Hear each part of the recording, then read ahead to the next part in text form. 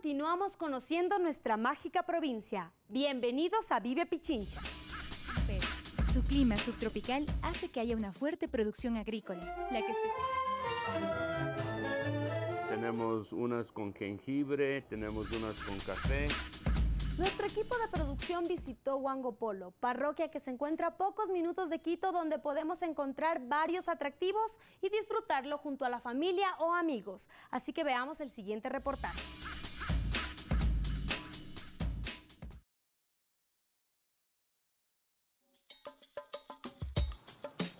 Conocida como la Tierra del Sedazo, Huangopolo es una de las pujantes parroquias de Pichincha. Se encuentra al este de Quito, al pie del volcán Hilaló y rodeado del río San Pedro. Su clima subtropical hace que haya una fuerte producción agrícola, la que especialmente es para el consumo interno.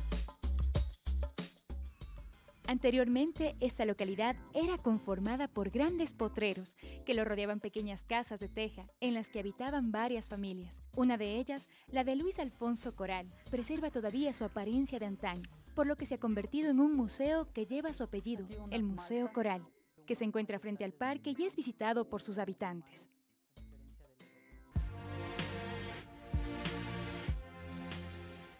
Huangopolo fue declarada parroquia el 11 de noviembre de 1953. Este lugar lleno de grandes artesanos se ha convertido en el distribuidor principal del sedazo de pelo de caballo. Para empezar a hablar de la historia de del sedazo y su evolución, pasamos a ver una guanga o aguana guanga, que es el instrumento en donde se teje la tela del sedazo. Tenemos aquí la cola del caballo, hay que peinarla después de lavarla y eh, de esa forma separamos las fibras más cortas, las más delgadas y las menos, menos fuertes, las más frágiles, ¿no? Después de haberlo peinado pasamos al proceso de la escogida por tamaños. Después del parejado de la cola y, la, y obteniendo ya tamaños, pasamos al, abotonado. Consiste en anudar cuatro cabellos en cada nudito, el cual, los cuales son muy importantes para la elaboración de la tela, ya que los nuditos van en la parte inferior del telar y tenemos listo el pareado para la, escogida o el inguilquido o urdido. Aquí tenemos ya una tela o el tamiz ya elaborado. Podemos ver en la parte superior al abotonado y el, anudado superior. Y esta sería una tela ya culminada y lista para, para ser puesta en el sedazo. Uno de los atractivos de esta localidad son sus balnearios, que al estar cerca del Cerro Hilaló reciben el beneficio de sus aguas termales, por lo que los visitantes acuden masivamente para disfrutar de estas cálidas aguas medicinales que acompañadas de hermosos paisajes, como los que brinda el río San Pedro, hace que un paseo a Huangopolo sea una excelente opción de entretenimiento y esparcimiento. Al visitar los senderos del Hilaló y de los Gallinazos, podemos realizar caminatas llenas de aire puro e impresionante vegetación. Su gastronomía, como muchos otros lugares de Pichincha, tienen una sazón y una forma de preparación únicas. Por ejemplo, deleitarse con una parrillada luego de visitar el balneario es una excelente opción para recobrar energías.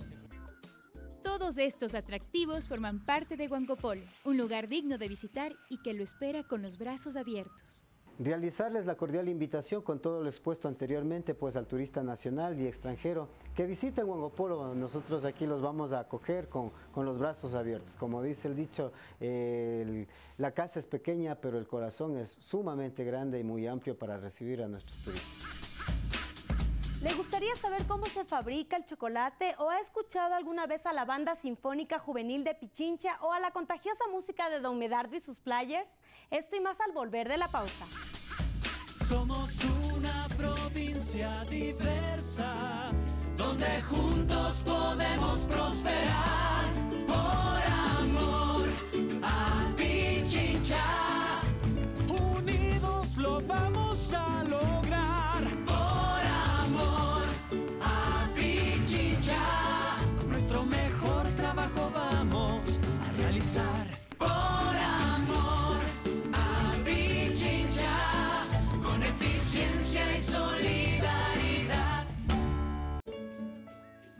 Nos alegramos tanto al escuchar historias como la de Cecilia, que hoy goza de una mejor salud al recibir atención ginecológica gratuita en la unidad móvil de la mujer.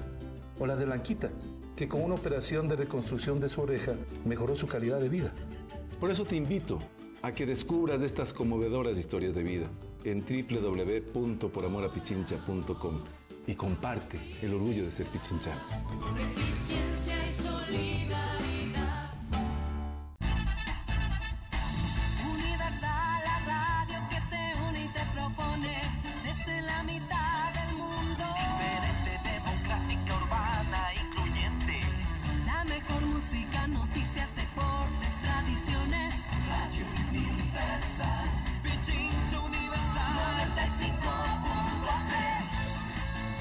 95.3. Pichincha Universal, desde el centro del mundo.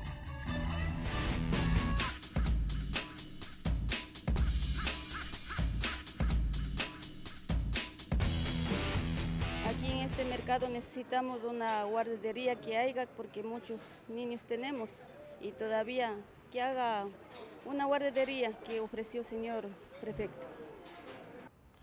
Juanita, cuando estuvimos revisando los diseños del mercado, que tanto les gustó que estuvimos con todos sus compañeros y compañeras del mercado, ahí les pregunté si tenían dónde dejar los niños y no me supieron dar respuesta. Entonces yo mismo les dije, es necesario que construyamos una guardería para que sus niños y sus niñas sean bien tratados, con la ternura que se necesita, con el amor que se necesita mientras ustedes realizan sus actividades de venta y de atender. Este jueves, o el próximo jueves más bien, el jueves 4 de julio, van a estar los compañeros del gobierno de la provincia de Pichincha hablando con ustedes. ¿Cuántos niños son? Si están en las, eda- en las edades correctas, buscaremos el espacio. Creo que va a ser abajo, donde está el parqueadero. Y obviamente esta, que es una necesidad, que no es una promesa, se tiene que cumplir. Es una responsabilidad nuestra y esa guardería se va a hacer buena. Comer chocolate genera una sensación de alegría y felicidad, mucho más si se la disfruta en todas sus variedades. A continuación, le invitamos a conocer dónde puede encontrar el mejor chocolate producido en nuestra tierra, en la parroquia de Mindo. Así que le invitamos a disfrutar el siguiente reportaje.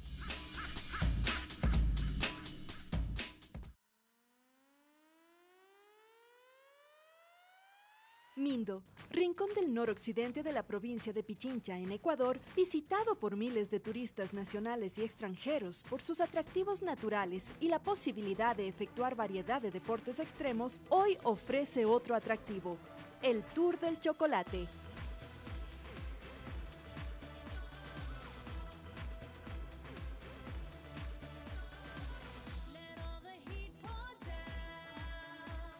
Restaurante, hostería y hoy fábrica de chocolate El Quetzal fue el sueño de dos visionarios emprendedores, José y Bárbara, quienes encontraron en este producto de exportación reconocido a nivel mundial un atractivo turístico más para quienes visitan esta zona del noroccidente de Pichincha.